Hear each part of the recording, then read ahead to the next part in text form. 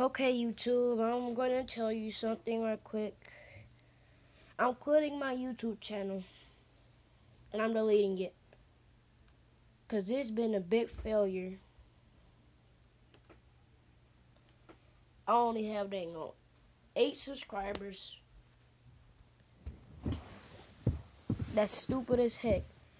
Now this is why I'm quitting my YouTube channel. I don't even know what to I don't even have all my equipment yet. And YouTube, man. I'm deleting my channel, so I ain't uploading no more videos. I'm just quitting it. So y'all should just unsubscribe. Whoever liked my videos, unsubscribe. And